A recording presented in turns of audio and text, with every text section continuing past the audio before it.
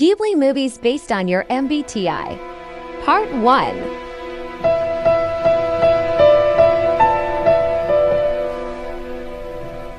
Thank you.